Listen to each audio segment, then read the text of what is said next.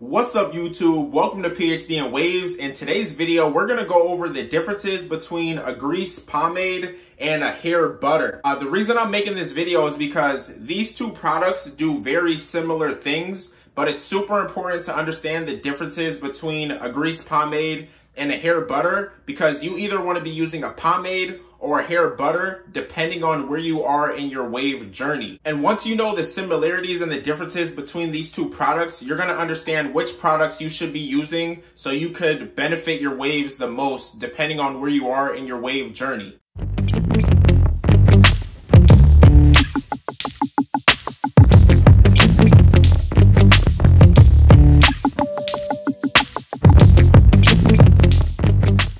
So first, let's go over the similarities between these two products. So a grease pomade and a hair butter, these are very thick products. So when you have thick hair products, they're basically styling products and they can help hold your hair down. So if you're a waver, obviously you know you want to keep your hair laid down. A pomade and a butter do a great job at helping to hold your hair down. Also, a pomade and a hair butter do a good job at providing shine to your waves. So if you want shiny waves, using a grease pomade and a hair butter definitely will help you achieve that nice, shiny, silky look to your waves. And the last similarity between a grease pomade and a hair butter is they help lock in moisture. So once you like moisturize your hair, either with water or moisturizer, a hair butter and a grease pomade can help lock in that moisture. So those are basically the similarities between a grease pomade and a hair butter. Now let's talk about some of the differences between these two products so you could understand which product you should be using during your wave journey. All right, so firstly, let's talk about this grease pomade. Right here, I have Murray's.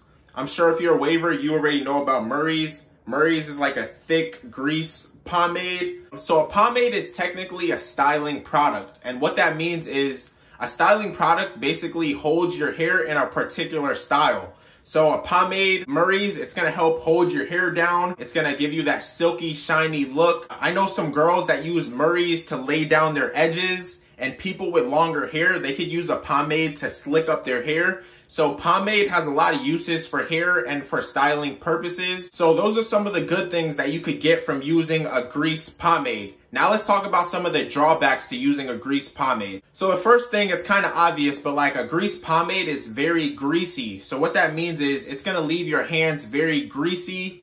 And since it's so greasy, it's gonna be pretty hard to wash out of your hair uh, the grease just builds up in your hair and it's going to cause a lot of product buildup and it's going to weigh your hair down over time. Another thing with grease pomades is it doesn't really provide your hair with any benefits, any health benefits. It doesn't really provide your hair with any nutrition. It simply just helps to style your hair. But outside of that, it doesn't really provide your hair with any benefits. There's no nutritional value for your hair or any health benefits for your hair. So let's go over the ingredients. In this Murray's uh, pomade, it has petrolatum, mineral oil, and fragrance.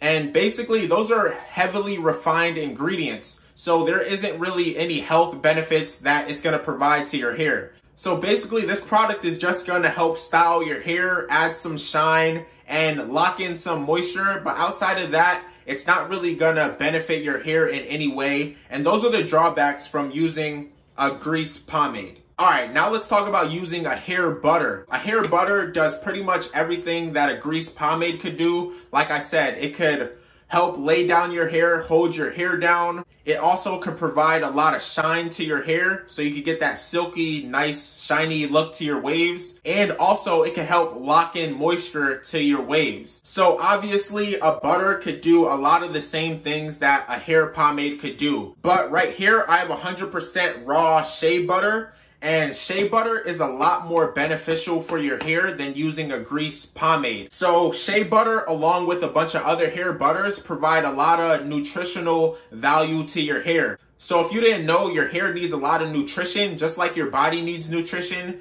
your hair also needs a lot of nutrition. So right here, like I said, I have shea butter. Shea butter provides so many benefits to your hair, such as softening your hair. Uh, it could moisturize your hair. It can help repair your hair. Uh, if you're dealing with frizz, it can help repair that. It could also help soothe irritation to your hair and your scalp. And as you can see on this label, it says ultra healing all over hydration.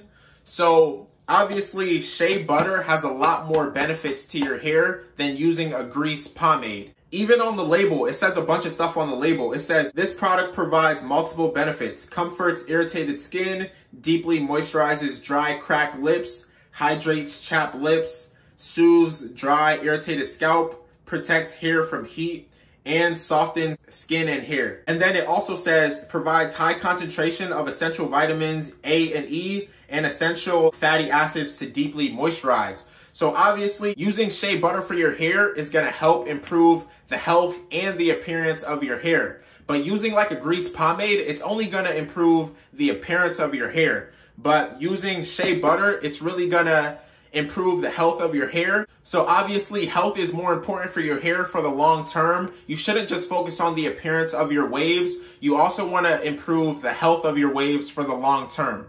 I mean, look at the labels. If you look at this label, it just has the logo on the front and on the back, it just has the instructions and the ingredients. But if you look at this label, um, you know, it says a bunch of stuff. Ultra healing, all over hydration, fair trade, made with natural ingredients, intensive hair and skin moisture, and it just tells you all the benefits of using shea butter. So obviously shea butter is a lot more healthy for your hair. Also, shea butter comes from natural ingredients. If you didn't know, it comes from the shea tree. It comes from like shea seeds, and then it's naturally made into shea butter. But like I said before, a pomade is heavily refined. It goes through many processes to get a grease pomade. So obviously there's not really going to be many benefits to your hair simply because it's so refined and processed. So I know what you're thinking. Obviously, we should be using shea butter. We should just throw away the grease pomade. But right now I'm going to tell you when you should be using either a grease pomade or a hair butter. So nine times out of 10, you should be using a hair butter instead of a grease pomade simply because uh, hair butter such as shea butter provides a lot more benefits to your hair. It's going to make your hair stronger and healthier. A grease pomade doesn't really provide you any benefits. So nine times out of 10, you should be using a hair butter instead of a pomade. But you should be using a grease pomade in some extreme circumstances. And I'm going to tell you those circumstances right now. So the first circumstance is if you're a beginner waver. If you're a beginner waver, your hair doesn't really know how to lay down on its own. Your hair isn't trained at all. So I would say you should be using a grease pomade instead of a hair butter simply because a grease pomade is a lot stronger. It's gonna work to lay your hair down a lot better than a hair butter. So that's the first uh, circumstance where you would use a grease instead of a hair butter because a grease is stronger. It's gonna help lay down your hair.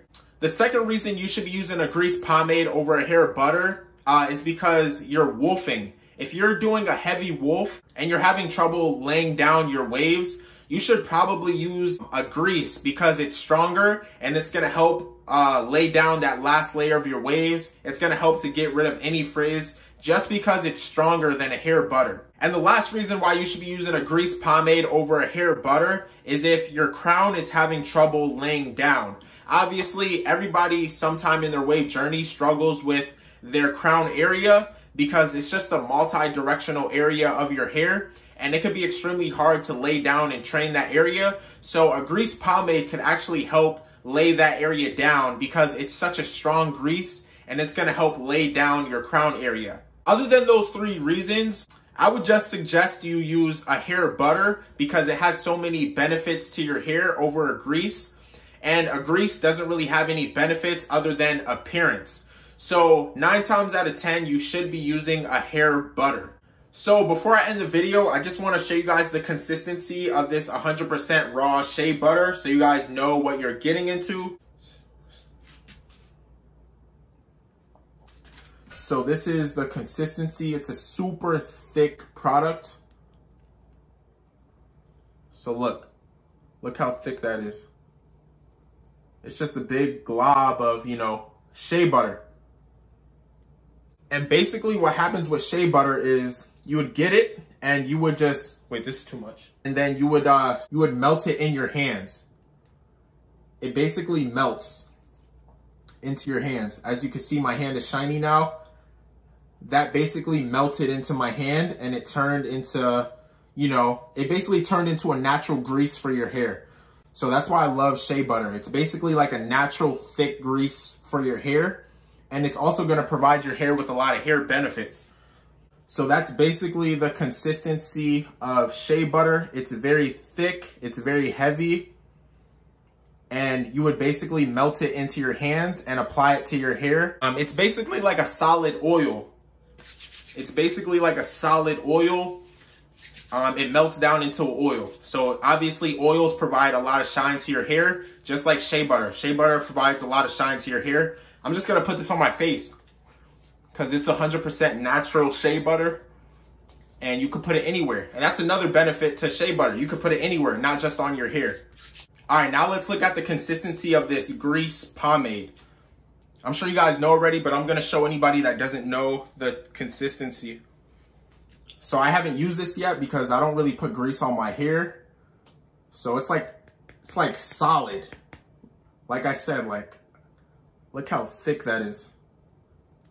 It's like a solid, it's sticky, it's sticky. It's just a very solid, you know, it's greasy, it's solid, it's sticky. It's a very thick, sticky consi consistency. And that's mainly why I don't put it in my hair because it's just, it's just to build up on my hair. It's hard to wash out. So I just stick to hair butters and I just stick to like other moisturizers because they're a lot healthier for your hair.